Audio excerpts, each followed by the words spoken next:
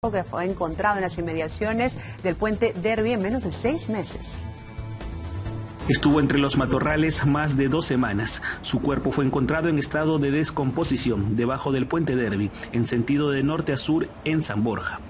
Vestía un short azul, por lo que se presume que el cuerpo es de sexo masculino. Aparentemente tenía puesto una mochila de color negra. Fueron trabajadores municipales que hacían labores de limpieza los que encontraron el cuerpo y dieron aviso a agentes de la comisaría de Chacarilla, quienes cercaron la zona, que es de muy difícil acceso para un transeúnte. Hay dos hipótesis que manejan los investigadores policiales. La primera es que habrían tirado el cadáver desde la bajada del puente Derby o por la carretera Panamericana Sur. La otra hipótesis sería que lo habrían asesinado en el lugar y habrían dejado el cuerpo entre los matorrales.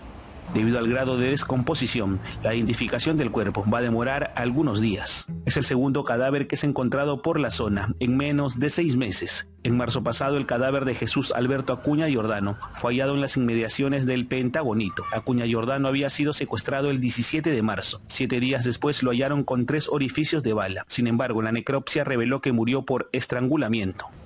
Acuña Jordano tenía 51 años. Era un empresario quien se dedicaba a la venta de repuestos para vehículos en Independencia. Según el reporte policial, cinco sujetos lo habrían subido a una camioneta cuando estaba en la puerta de su local. En julio pasado, la Policía Nacional capturó al venezolano Francar José Reaño Sánchez, sindicado como el cabecilla de la banda, quien planeó el secuestro y asesinato del empresario. les contamos